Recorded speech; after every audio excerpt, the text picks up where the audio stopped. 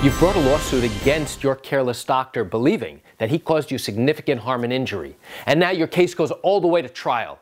At trial, when your attorney calls your medical expert to come and testify, he's nowhere to be found. He doesn't show up. How long is the judge going to sit around and wait for your medical expert to show up to testify? You want to know the answer? Come join me for a moment as I share with you some great information. Hi, I'm Gerry Oginski. I'm a New York medical malpractice and personal injury attorney. So now, you're at trial. It's been two long years. Everything is complicated. Everything is fought over. Nothing is easy for you in your case. You claim that your doctor was careless, and you believe that his carelessness was a cause of your significant injury. And you have a qualified, board certified medical expert who confirms each one of your claims. And now your attorney has spoken with your expert previously, he's prepared him for trial, and now the big moment comes. Your expert is called up to the witness stand. The judge asks your attorney, Okay, counselor, who's your next witness? Your Honor, at this time I call Dr. Gold to the witness stand. And he looks around. Dr. Gold isn't there. He's like, Judge, can I go out and make a call? Your attorney goes into the hallway and frantically makes a phone call to Dr. Gold. He can't reach him, it goes right to voicemail. And now he's waiting and waiting in the hallway. A few minutes later, the court officer comes out into the hallway to find your attorney and says, Hey, counselor, what's going on? The judge is waiting for you. The jury's in the jury box waiting for you. What's happening? And now your attorney says, Listen, I don't know where he is. I can't reach him. I sent him a text. He's not responding. I left him a voicemail. He's not responding. So now, how long is the judge going to sit around and wait for this witness to come in? So here's what's going to happen.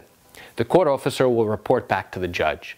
Your attorney is going to wait in the hallway for a few more minutes to see if possibly your expert shows up. What happens if he doesn't show up at all? Your attorney will then return back into courtroom and ask to speak to the judge privately. The defense attorney has to come up and listen to this conversation. So now, your attorney has to tell the judge, Judge, this expert was scheduled to come in. I confirmed this last night. I spoke to him last night. He promised to be here. I'm going to try calling his office now. I tried him on his cell. So the judge will likely give the attorney a few minutes to try and reach the doctor from his office. So now let's say your attorney goes out, calls the doctor's office. They say, We have no idea where he is. It's his day off today. And now the attorney is stuck. What happens next? Well, your lawyer has to go back and report to the judge. Say, Judge, I'm at a loss. My expert is supposed to be here. Maybe he's stuck in traffic. Maybe something else happened. And now you are sitting in the back of the courtroom wondering, maybe, just maybe, the defense lawyer or the doctor whom you sued somehow got to your medical expert and convinced him not to testify in your case. Is that possible? Can that happen? Can the defense attorney or the doctor whom you have sued try and reach out to your medical expert to convince him not to testify in your particular case? The answer is maybe yes and maybe no. Being able to prove that will be extremely difficult, assuming that's exactly what happened.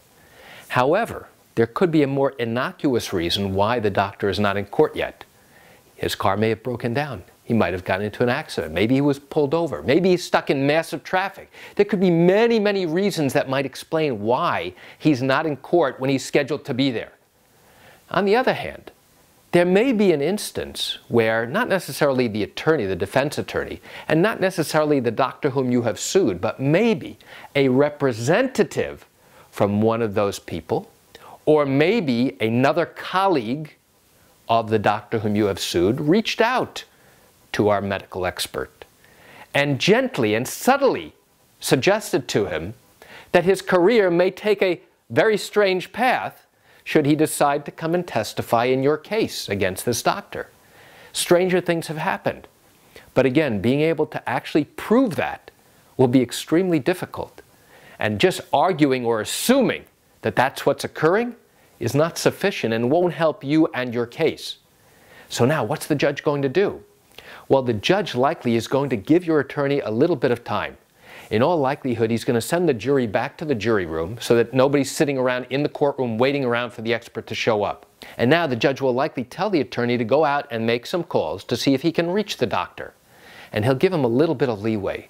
But there will reach a point during the afternoon or during the morning where the judge will say, listen, if you can't get this expert in, I have very limited options here. I may allow you to go ahead and bring him in tomorrow morning, or I may have no choice.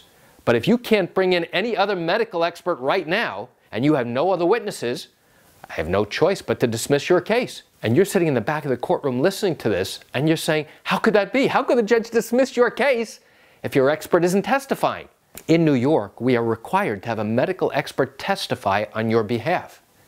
If we can't bring in a medical expert to testify, now you have not satisfied the requirements to put this in front of a jury so that now they can decide whether your doctor, whom you sued, was careless, and whether his carelessness was a cause of your injury, and whether your injuries are significant or permanent.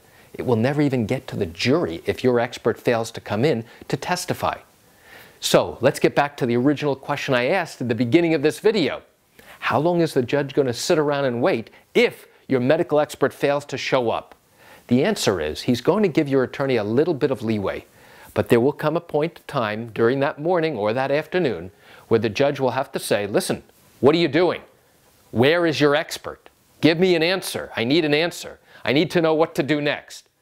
And if he can't give him a good, valid answer, the judge may say, listen, you've got to call your next witness. If you don't have any other witnesses, I may have no choice but to throw your case out. So why do I share this quick information with you?